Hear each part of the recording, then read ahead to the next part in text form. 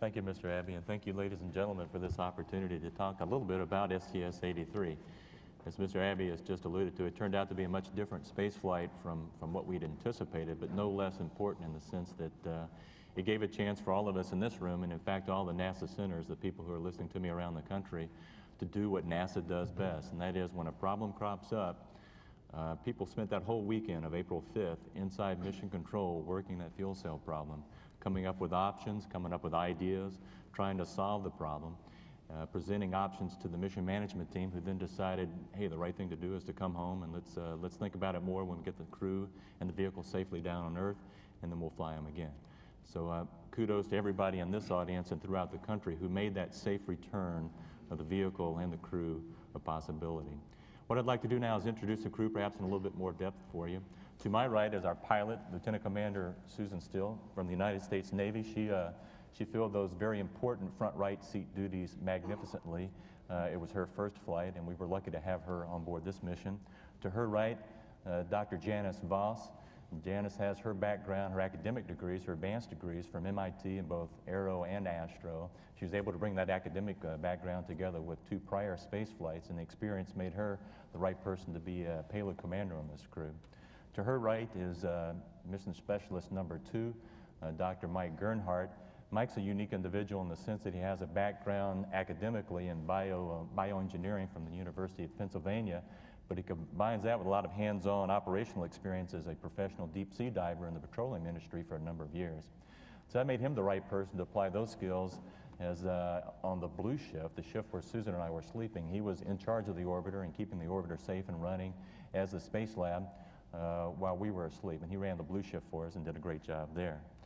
Uh, the other experienced, very experienced space flyer that we have on board is Dr. Don Thomas.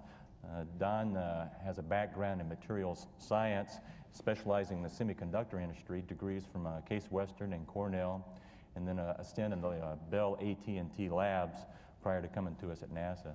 Don and I had the very unique experience of flying together on our first flight on STS-65 back in 1994 on a mission which was very similar, almost identical to this one, dual shift, uh, long duration laboratory mission. So we were able to bring, and Don in particular was able to bring that expertise uh, to bear on STS-83, and it, it, was, it was magnificent having him and his experience on this mission.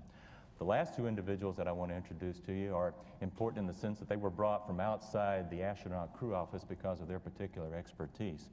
Um, we have Dr. Uh, Roger Crouch, degrees from uh, Tennessee Tech and Virginia Tech, and he's, his background is he was in charge of the NASA Materials Science program for about 100 years. Is that right? Is that, yeah, okay.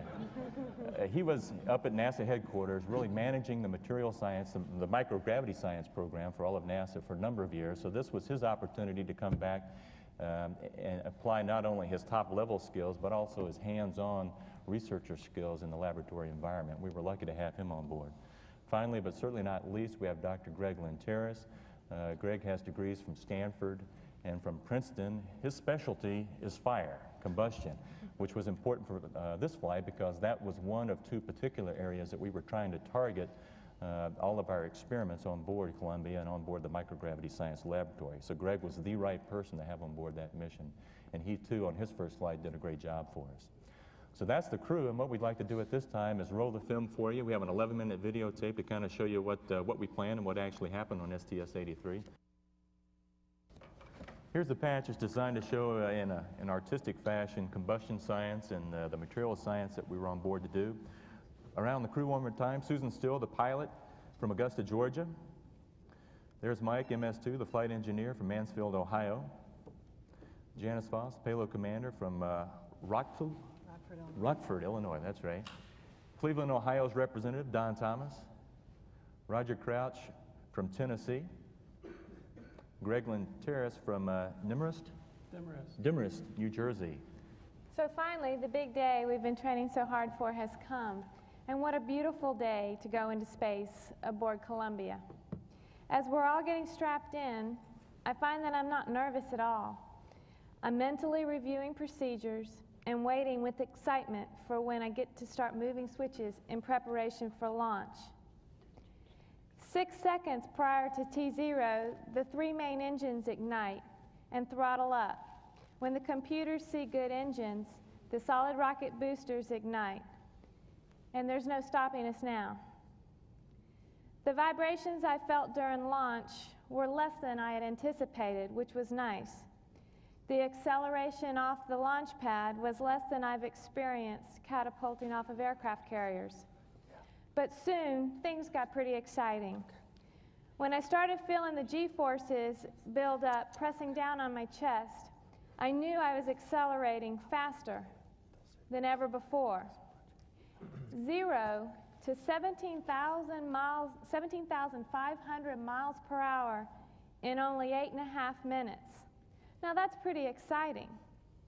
Now we're over 160 nautical miles from the Earth's surface. One of the first things we need to do when we get up into orbit to get into orbit configuration is open the payload bay doors. The shiny surface on the inside is a radiator, and we use that to get rid of the waste heat. I'm sure most of you know how all that works, but we have to get them open just a, a few hours, or we have to come back because of all the waste heat that we generate on board. The next major activity for me and the payload team was getting the Space Lab activated. You see Roger coming in on the left there, I'm right behind him. This is our first trip into the Space Lab module after getting up into orbit. You can tell it's early in the flight because the module is still nice and clean, everything is still packed away. That'll change pretty quick as we get things set up for flight. We have to get all the systems activated, the subsystem computer and the experiment computer, get that up and running so we can get heavily into science. You see Don Thomas here working on the world map computer and the, you can also see the Space Lab computer next to him. What was happening on the ground, at first unknown to us, but briefly made, uh, shortly made known to us, was that we had a fuel cell 2 problem. Fuel cell 2 had high substack delta volts, which uh, is a technical term for saying that there's the possibility that fuel cell 2 could have a fire. So at the upper right-hand part of the uh, screen, you see the, uh, the flight control team meeting together, trying to go over options, uh, figure out what the right thing to do. The mission management team met, and the right thing to do was to come on home. And here you see uh, Chris Hadfield, our Capcom, telling us, come on home on day four. And one of the big results of the power down that we did was to shut off all non-critical equipment on board. And one of the first things to go back in the Space Lab module was the lights. And you can see here I'm working with a flashlight in my mouth. That was standard operating procedure for us back there to look at procedures and see what we were doing. And it made for a most interesting uh, work experience back there. Before things got quite this interesting, the 32 science teams working in the Payload Operations Control Center at Marshall Space Flight Center had started replanning the scientific experiments, and the red team went to work doing the new PCAP or the new plan for how the science was going to be carried out. The orbiter crew chipped in. Here you see Susan helping on a Japanese furnace, uh, large isothermal furnace for some of the material science experiments. Greg's doing some combustion here. Oh, that's Don doing material science still on the large isothermal furnace. I apologize for that. He's changing the samples here, going with some of the samples that had shorter run times than what we'd previously anticipated doing. And you can see that uh, he's working from a, a new PCAP that had just been backed up that day. This is Greg, sorry. Combustion was one of the uh, important areas of research on our, our, mission, and what I'm doing here is uh, a soot formation experiment. Soot, of course, is an important airborne pollutant. This is the igniter in the combustion chamber. You'll see the flame an ethylene air diffusion flame lighting. It's actually upside down here. It's forming soot. Our job at this point was to adjust the flow rate of the fuel in order to eliminate the soot formation and bring it just below the soot point so the flow rate is being adjusted down. The next image is a laser extinction image of the same flame, uh, and this is what the uh, scientists on the ground used to quantify the soot formation rate in this particular flame. Another area of research was droplet combustion. Droplets, of course, are ubiquitous in many combustion-using devices. I'm setting up the experiment here. In the next image, you'll see an actual droplet burn. The uh, droplet is formed in between the center needles, and, and then it's stretched, released, and then ignited, and then it burns. From the burning rate of the droplet, the scientists can understand the chemical kinetics and the physics of the burning process. The next image is an ultraviolet image intensified, and you can see that the droplet burns all the way to extinction, which is exactly what the investigators wanted to try and see. I spent a lot of time during our four days working on the glove box uh, experiments here, and this is one of the material science one from Northwestern University. We wouldn't have been able to do the great job we did up there without outstanding support here on the ground, both at the Johnson Space Center in Huntsville, Alabama, uh, at the P Payload Operations Control Center. And our number one man there working with us was Paul Ronney, our alternate payload specialist, who did an outstanding job uh, helping us get all the experiments done in time.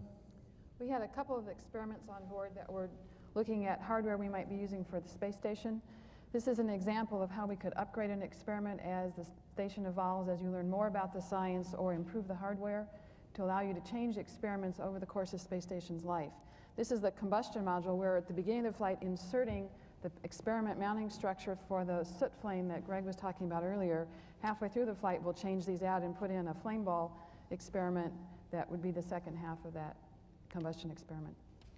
The very first full day on orbit, one of our first jobs was to activate some protein crystal growth experiments, and that's what Don and I are doing here. Protein crystals, of course, help the scientists on the ground understand the structure of the proteins for which they can then, then design drugs. Our job was to uh, photograph with 35 millimeter photography the activation process. One of the major challenges uh, facing a, a seven-person crew like, crew like we had is to convert the uh, ascent rocket into an orbiting laboratory. And uh, basically, you're trying to stow away about 10 pounds of potatoes in a five-pound sack and then deploy all the various uh, experiments. Uh, this is Janice taking an air sample in the lab, uh, one of the tasks we do when we first activate the lab.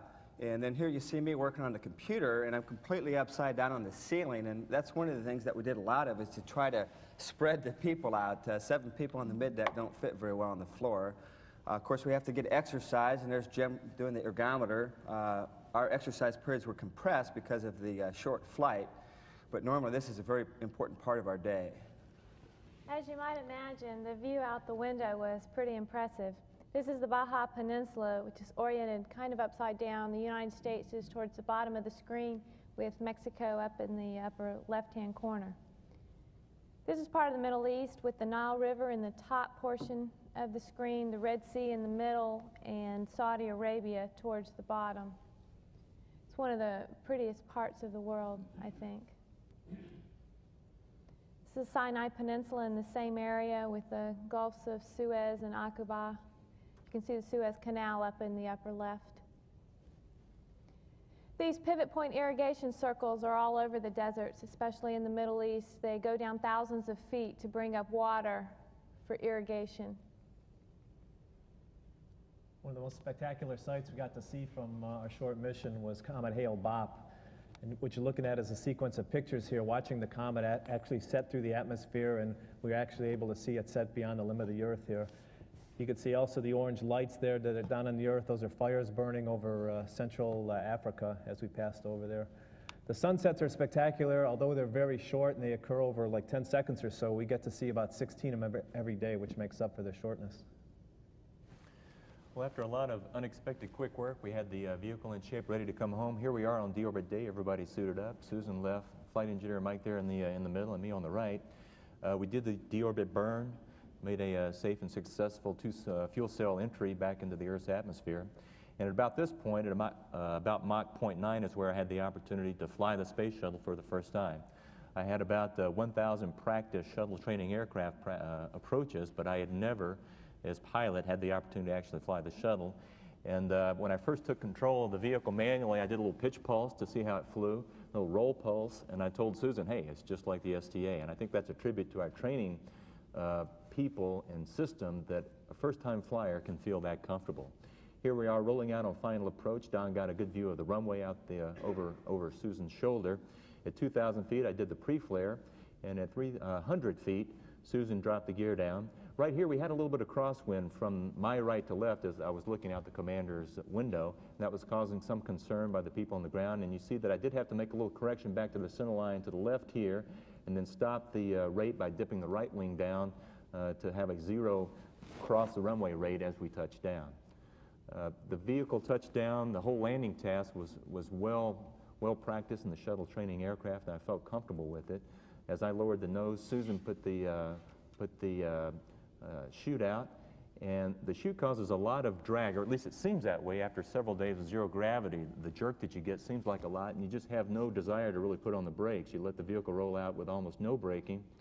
Uh, Susan drops the chute at 60 knots, and I do use the brakes here for about the first time to bring it to a full and complete stop. Uh, I found the brakes, they weren't draggy. I did find the nose wheel steering to be uh, fairly stiff in the sense that it, it reacted very quickly to any inputs that I made. After that, after about an hour of medical testing, we were able to get out and uh, wave to the photographers who were gathered, and here's the final word. Thanks to the hard work that's going on right now at the Kennedy Space Center, that to be continued slogan is going to be truth. On July 1st, they're going to have the vehicle and the payload and us back out there and ready to go again. And it's, it's happening only because of the hard work that the engineers and the technicians down at the Cape are putting in on this unprecedented and record-setting um, turn of the vehicle and the payload. What we have next are a series of slides of some of the more interesting Earth observation sites that we, uh, that we were privileged to have the opportunity to look down on from about 160 nautical miles. This is um, Long Island, the northern half of Long Island in the Bahamas, and uh, we didn't have a whole lot of time to look out the window, but when I, uh, when I could, I would look down, particularly on the Bahamas, which to me is the prettiest place in the world. Uh, here you see the tongue of the ocean on the right-hand side where the, where the, uh, the shelf drops off from about 60 feet down to 6,000 feet, and uh, the picture doesn't really do it justice. I remember when I was in space looking out the window and, and just really awestruck at the beauty there and thinking that the only, the second uh, place in the world I'd want to be is there in the Bahamas. The first place was, was on the spaceship at the time. And fortunately for us, we, we landed, uh, we debriefed for a few days, and then got two weeks off. So I went straight down there and actually did some diving at, at this uh, location. And it was really special to, uh, to go underwater and see that environment and have in your mind the same image of that place from space. Uh, it was very, very uh, awesome. This is the uh, Nile River in Egypt, and as you pass over Egypt and you see the brown deserts below you, the two things that stand out, one of them is the bend in the Nile River here at Luxor. And what you're looking at is the Nile River on either side of the river itself. Uh, you can see the green agricultural areas where the growing crops all along the Nile. And this is where the Valley of the Kings is, where they found the King Tutankhamun, and they're still, you know, discovering uh, new tombs there today. Next. Another spectacular area on the Nile River is a little further down is the uh, Aswan Dam and Lake Nasser here. The dam is just uh, near the, the top center of the picture. You can see it barely there, a little gray structure crossing the Nile. Uh, the water levels were at near record level here when we flew over the, uh, the Nile in Lake Nasser.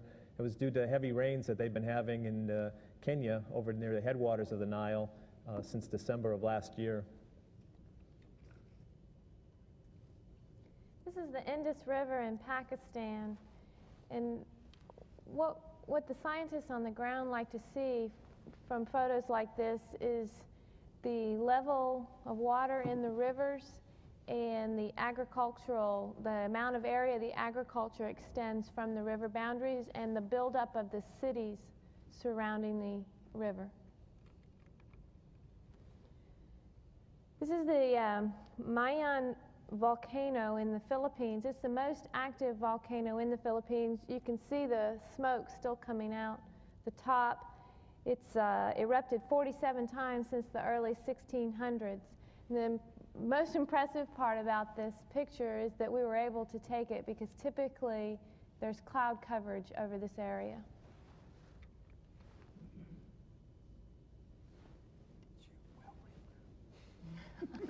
They're reminding me that this is the, uh, this is the gray, gray whale breeding ground located on the west coast of Baja. Now, I'm not going to tell you that we can count whales from space, at least these 40-year-old eyes can't. But what we can do is, um, is get the big picture. That is, what are the plankton blooms like? What are the, um, uh, the other large-scale current changes that might be affecting the gray whales as they migrate down from the Bering Sea down the uh, coast of North America to this area where they feed and breed uh, to begin the cycle for a new year. One thing that I always find fascinating is how you look at something from space and it reminds you of some small thing, but you're seeing it on a much more tremendous scale. I see a picture like this and I think of a, of a pebble in a stream. This is what it looks like to me, but what you're seeing is the peak of Guadalupe Island interacting with the atmosphere to create this wake on the leeward side of the island. I think it's fascinating just to watch the, how these things develop and how similar they look to something as small as a pebble in water.